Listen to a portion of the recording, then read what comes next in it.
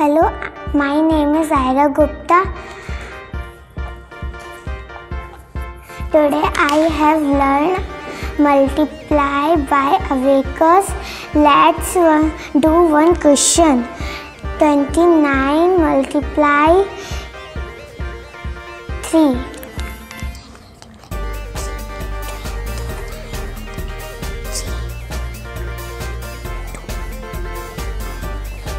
multiply 3, 6,